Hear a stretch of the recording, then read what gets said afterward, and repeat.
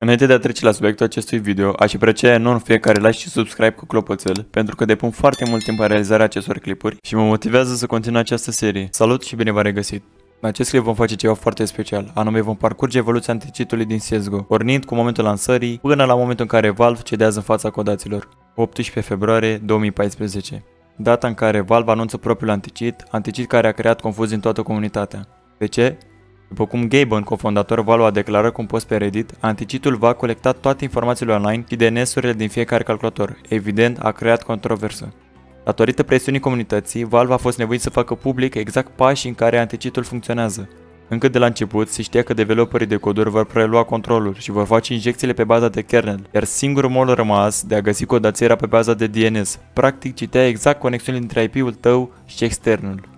Păi da, mă, Don, dar de ce nu putea detecta coduri de tip kernel? O scurtă paranteză, chiar și în ziua de azi, cele mai safe și greu de detectat coduri sunt cele cu injecție prin kernel. Totuși, de ce nu poate detecta kernel mod? Valve limitată în a accesa fișierele calculatorului, acestea fiind confidențiale, motiv pentru care VAC nu poate să obține informații despre injecțiile de tip hardware. De aici, diferența enormă între anticitul de pe Faceit și cel din CSGO. Toată lumea spune, cum poate frate Faceit-ul să aibă anticit mai bun decât CSGO? Diferența o face acest Faceit anticit care, pe lângă că e o aplicație externă ce trebuie instalată, are acces de plin în calculator la toate fișierele și informațiile tale.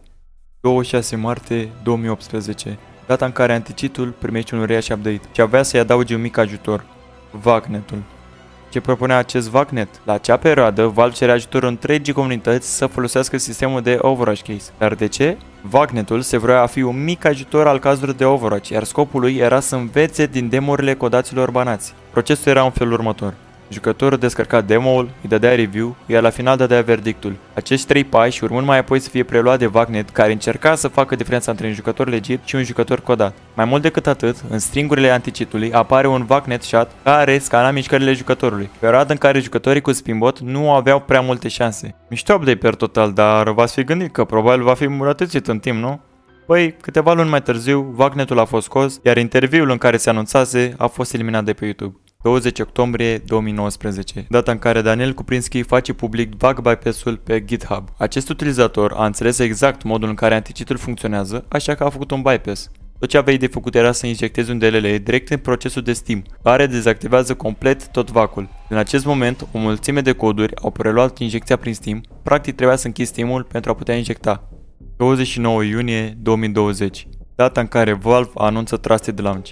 Care era scopul acestui update? În teorie, Valve reușea să blocheze majoritatea injectoarelor și limita enorm posibilitatea de a mai juca cu coduri. Cât a durat să fie găsită o nouă metodă de inject? 15 minute și din nou o șansă ruinată împotriva codaților. Față de Vagnet, Trusted Mode este încă activ, dar singurul lucru pe care îl blochează este OBS-ul, un program de filmare. Superb update, nu?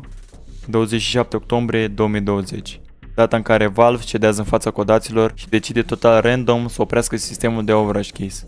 Păi cum, Don, că eu încă văd butonul cu albastru meniu. Mă voi repeta, majoritatea știu deja, dar voi explica iar. Să zicem că descarci un demo, te uiți peste el, bla bla, vezi care coduri, aștept să se termine să votezi. Bibifezi care aim, care wall, care bihop și după dai submit verdict, da? Gata frate, îl banez.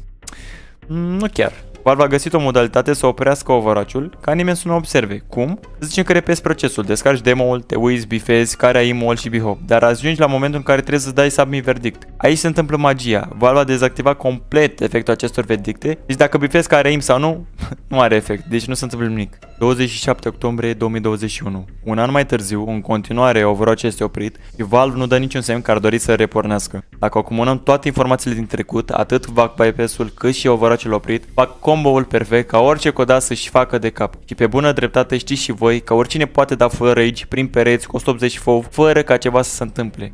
În schimb, cu ce anticit ar trebui să ne mulțumim? Păi în august a fost adăugat Fair Play Guidance, care teoretic e dedicat celor care de obicei dau reporturi codaților. Este greșit cu treaba asta? Nu există o limită pentru reportul de griefing. Deci dacă îți dau ție 50 de reporturi de griefing, acestea vor fi contorizate fiecare în parte și vor fi văzute ca 50 de reporturi diferite. În concluzie, Valve are rețineri când vine vorba de anticid și cumva dorește să ajute comunitatea, dar mai mereu ia decizii proaste și stupide care nu sunt eficiente. O să ne lovim mereu de două întrebări. Care va fi viitorul anticitul de pe CSGO și când Overwatch va fi reactivat? Întrebări la care nu vom avea niciodată un răspuns. Acestea fiind spuse, cam atâta cu acest video. Noi ne vom auzi data viitoare. Pa, pa!